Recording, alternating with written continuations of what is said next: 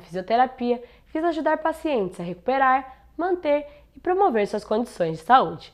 Na UFSC, a graduação em fisioterapia existe desde 2010 no Campo Araranguá.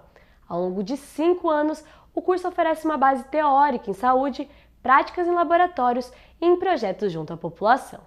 A gente teve uma preocupação de estruturar o conhecimento para que ele partisse de uma base onde tivesse todo o conhecimento das ciências básicas de saúde, disciplinas como anatomia, patologia, histologia, fisiologia. Depois, eles iam migrando para que esse conhecimento se integrasse com disciplinas teóricas, disciplinas de cardiologia, pediatria, neurologia.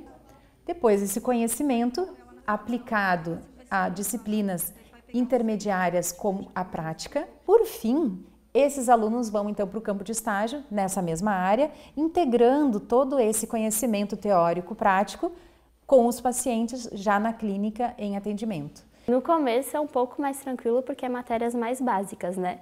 E, mas também é mais dificultoso por tu não ter o ritmo, não saber como tem que estudar, sabe?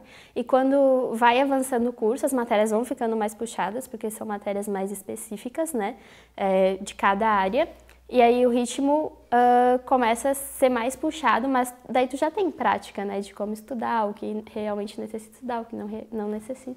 Muitas atividades práticas do curso são feitas nos laboratórios. A gente tem um laboratório de, específico de neurologia, a gente tem o um laboratório de cardiopneumo, a gente tem o um laboratório de recursos terapêuticos. A UFSC fez um investimento aqui no nosso curso, é, permitindo que a gente abastecesse esses laboratórios. Então, hoje a gente tem esses laboratórios com muitos equipamentos, disponibilizando para todos os alunos. Outra prática relevante são os projetos junto à população.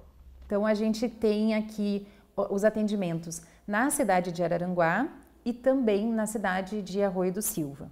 É porque tem projeto de pesquisa e tem projeto de extensão. De extensão é onde a gente atende mesmo, a gente faz é, tarefas de prevenção e tarefas de reabilitação. E o de pesquisa é onde a gente faz na área de pesquisa mesmo, a gente coleta no arroio, é para ver como está a saúde dos idosos. Ter um curso na área da saúde aqui é de extrema importância para desenvolver a região, para dar atendimento à população que já é carente de, de muitas coisas, né? E o, e o Sistema Único de Saúde ele não dá conta do atendimento, da demanda toda que é, que é importante. Então, a universidade consegue contemplar e melhorar as condições de saúde dessas pessoas. É muito gratificante, sabe? Porque uh, dentro da sala de aula a gente vê a, te a teoria e quando a gente tem que botar em prática é muito difícil, sabe?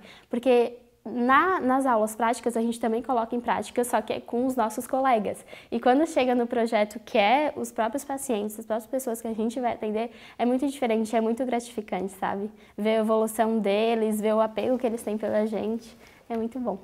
Nos últimos semestres do curso, o estudante passa pelo estágio obrigatório. Bom, o nosso curso de fisioterapia aqui em Araranguá dispõe de diferentes campos de estágio, tanto na área de pediatria, geriatria, neurologia, cardiologia, uh, ortotraumato, pneumo, é, gineco-obstetrícia. Então, os nossos alunos eles vão desde a unidade básica de saúde, eles vão para uma clínica de fisioterapia, ambulatório hospitalar, internação e até o, o, a nível de UTI, né, do hospital. Quando eu entrei, eu achava que fisioterapia realmente era só reabilitação. Tem área de prevenção, que é antes de ter qualquer disfunção para dar qualidade de vida para as pessoas. Tem área de pesquisa, tem área em saúde coletiva, tem, tipo, fisioterapia abrange muitas, muitas áreas no qual a gente não tem conhecimento. Depois de se formar, existem diversos espaços que o profissional em fisioterapia pode ocupar. Além disso, os alunos podem atuar em hospitais, né, tanto ambulatorial quanto internação. Eles podem atuar em clínicas de fisioterapia, em centros de reabilitação. Eles podem atuar em fazendo atendimentos domiciliares, é, trabalhando na rede do SUS em diferentes uh, níveis né, de atuação e também né, a carreira acadêmica que a gente através da pesquisa, da iniciação científica, também estimula eles a a seguir né, com o mestrado, doutorado.